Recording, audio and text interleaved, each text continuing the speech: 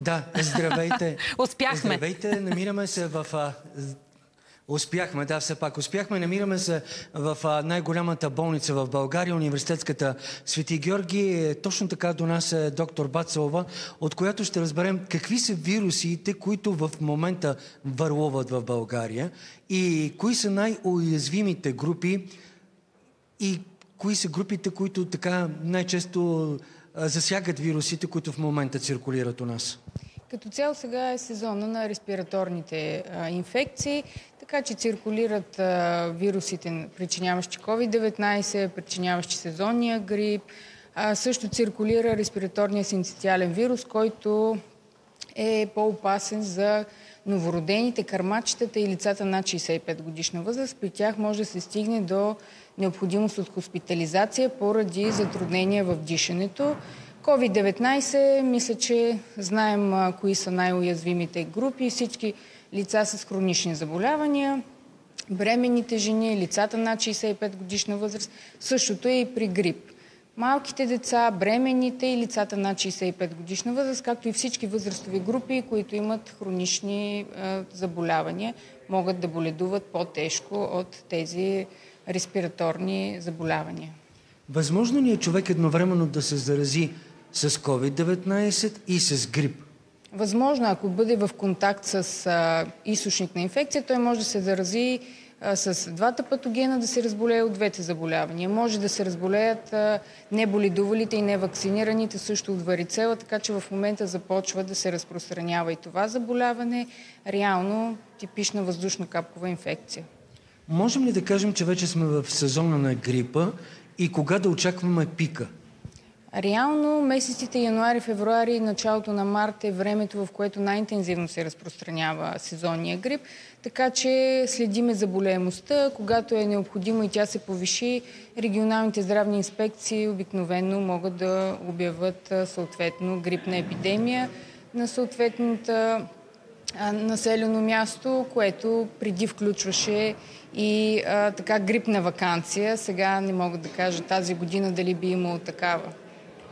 Наложително ли е вече да се въвеждат превентивни мерки, така наречените филтри, на входовете на детските градини и яслите?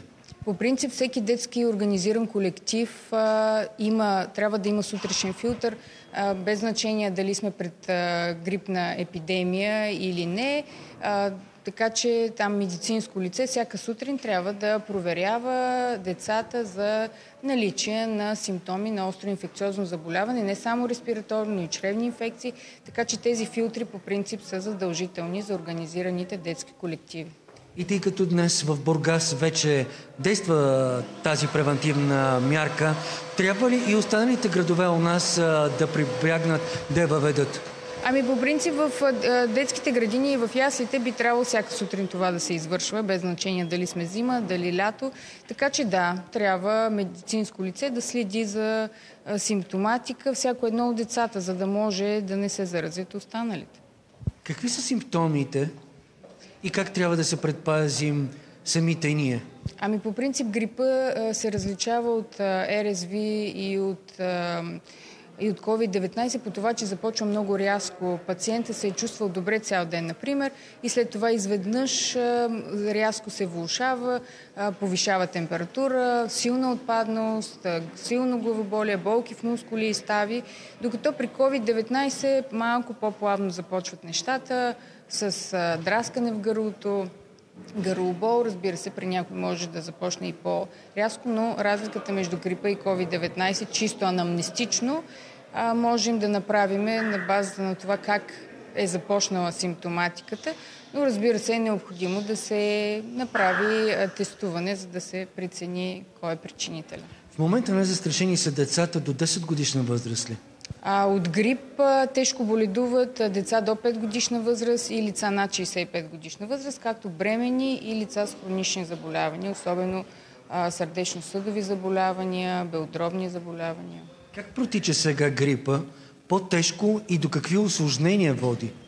А нямам информация от колегите да протича грипа по-тежко тази година в сравнение с предходни години. А така или иначе е необходимо да мине ам, сезона на грипа, за да може да се а, отчете всъщност дали е, дали е протичал по-тежко или не толкова. А, така че това може да го коментираме вече на пролет.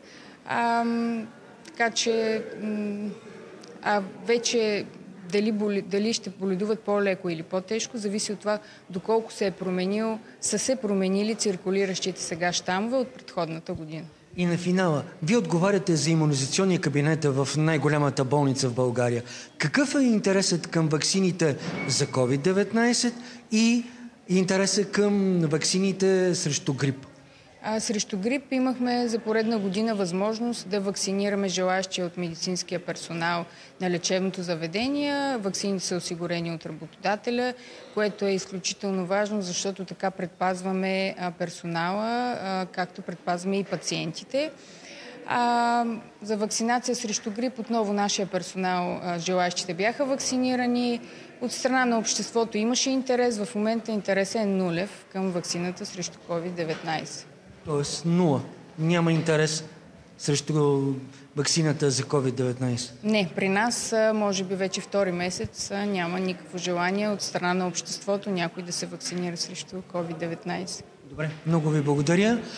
Както разбрахте, такава е ситуацията с грипа и върлуващите вируси у нас. Възможно е човек да се разболее едновременно и с COVID-19, и с грип. Да, благодарим ти, Благо, за тази информация, за това включване от Пловдив. Такава е ситуация.